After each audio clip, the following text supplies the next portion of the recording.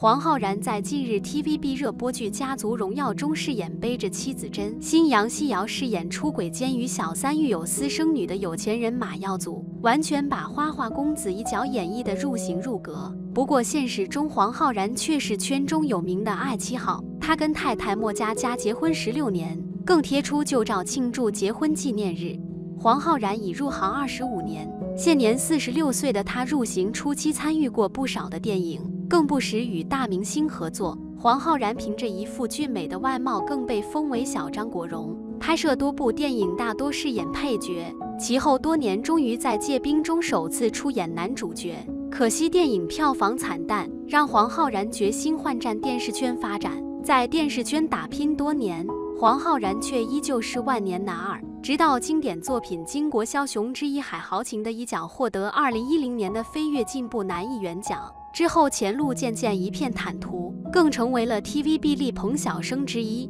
黄浩然当年终于等到上位的千载难逢的好机会，在 TVB 台庆剧《张宝仔》担任男主角一角。此时黄浩然却不幸患上相当罕见的免疫系统疾病贝塞特氏症，最严重时有机会导致全身溃烂。为了身体着想，黄浩然只好放弃演出机会，安心养病。其后男主角落在洪永城手上。而黄浩然再次丧失机会，黄浩然患病坚信的太太莫佳佳一直在旁的照顾。入行多年，从没有绯闻。他跟太太因拍摄《新扎师妹三》而认识。黄浩然太太是圈中有名的造型师，其父亲更是马主莫英如，有传身家过亿，拥有多层豪宅及物业。因此，黄浩然名副其实是一位豪门驸马。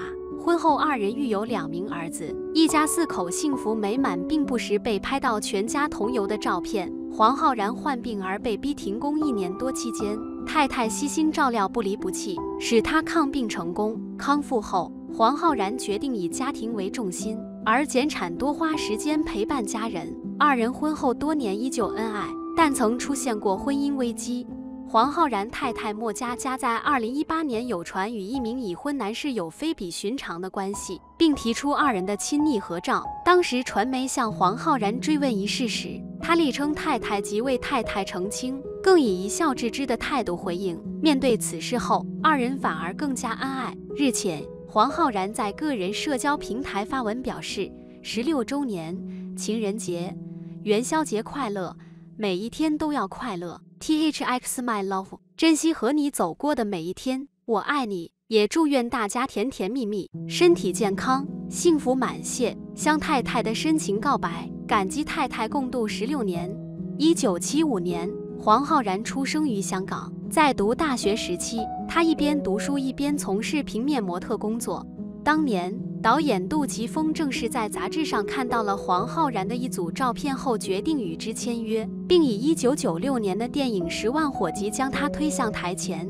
后来，黄浩然又陆续参演了《非常突然》《再见阿郎》《孤男寡女》《机动部队》等多部银河印象电影，其中让人印象最深的。莫过于《辣手回春》里为了追求张柏芝，最后整容整成帅哥的叫花子，以及《钟无艳》里爱上了由齐宣王假扮的北宫娘娘的吴起将军。值得一提的是，在这部戏里，他的福利就是吻了扮演齐宣王的梅艳芳。二零零三年，黄浩然获导演麦子单力捧，在大牌云集的动作电影《黑白森林》中扮演七喜的儿子可乐，戏份之重等同于男一号。两年之后，他又在麦子善执导的另一部电影《借兵》中担纲男主角，并与宁静以及吴家龙等人合作。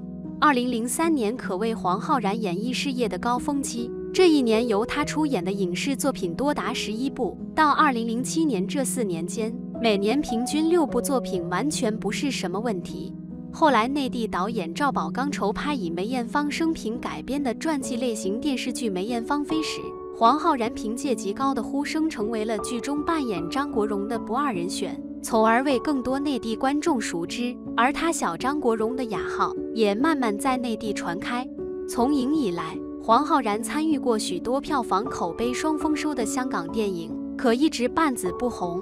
二零零七年开始，他决定转战 TVB。进军电视剧领域，并凭借自己精湛的演技夺得 TVB 四三周年万千星辉颁奖典礼飞跃进步男艺员奖。在 TVB 时期，黄浩然贡献出了许多可圈可点的角色，譬如《当狗爱上猫》中的殷海亮，《碧血炎宵》中的胡庭轩，《大太监》中的姚双喜。去年他在多功能老婆中扮演的尚建雄也十分抢眼。然而，随着 TVB 电视剧在内地的传播度和影响力普遍不如从前，黄浩然未能引起外界对他的广泛关注，尤其是内地观众。不过，二零一八年他在网剧《冒险王卫斯理之蓝血人》中塑造的大反派洛卡，倒是真的让人眼前一亮。这个角色再次证明了黄浩然诠释邪魅恶人也完全不在话下。无可否认，黄浩然的起点真是很高，一出道就得到了杜琪峰、麦子善以及王晶等电影圈前辈的关照。有人评价他拥有如此顶级的资源，但在演艺圈的发展却普普通通。实为不思进取。为此，黄浩然回应道：“自己其实是一个容易安于现状的人，有时不懂如何争取和把握住机会。目前要战胜的最大敌人就是自己。为了寻求演艺事业的新突破，如今黄浩然结束了与 TVB 的专属合约，转投古天乐旗下的经纪人公司，实行电影电视双轨发展。”其实黄浩然缺的不是演技，而是一个得到亿万观众认可的机会。重回电影界，无疑是他当下最佳的选择。比起事业的低调，黄浩然的感情相对高调那么一点点。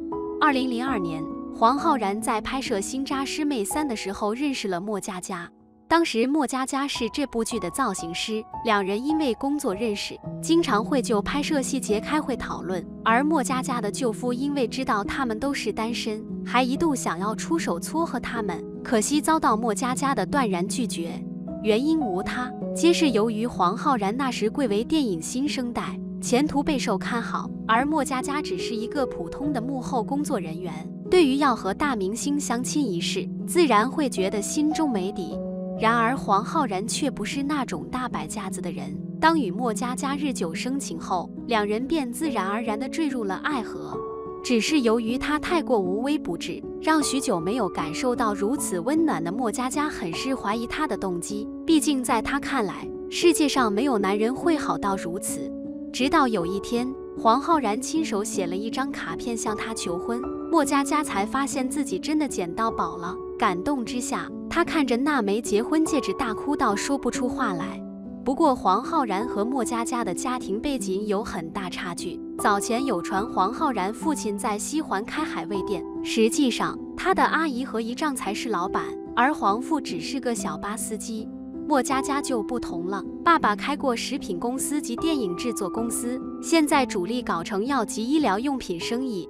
单在香港，莫坝就有三个豪宅，市值一千六百万的顶峰大厦，市值三千万的汇景园，以及市值一千四百万的枫林阁，而且没有贷款压力，房子都已经供完。其中枫林阁给了莫佳佳和黄浩然住，就连黄浩然平时开的宝马车都是岳父公司名下的。即使两人家庭背景差距很大，这位亿万富马爷还是深得岳父喜爱。甚至被当亲儿子对待，但黄浩然依旧会交房租给岳父，哪怕好好做亿万富马爷，就不用日拍夜拍那么辛苦，他还是坚持经济独立。而无论工作多还是少，莫家家都全力支持。据说莫爸如此爱惜黄浩然，还有一个原因，就是在他们在一起之后，莫家家和家人的关系更加密切了。婚后，黄浩然与妻子育有两个儿子。黄浩然私底下非常低调顾家，结婚十六年，他堪称绯闻绝缘体，媒体从他身上挖掘不到太多的东西，曝光度相对其他艺人自然就要少很多。二零一三年，黄浩然在拍摄电视剧时，有记者在 TVB 公司遇到过他，只见他的样子很累很憔悴。后来，黄浩然被确诊患上贝塞特氏症，因喉咙溃烂无法进食、吞咽，每日只能吊盐水，甚至有失声、眼睛发炎、视力模糊等情况，只好向 TVB 请假几星期留院治疗。期间，太太一直在旁无微不至的陪伴照顾，对他不离不弃。病愈后，他也意识到健康及家庭比什么都重要。自己没病之前只会去想家庭及事业，但当我病后发觉，原来家庭、事业及健康都要取得平衡，要用身教形式令孩子都领略得到。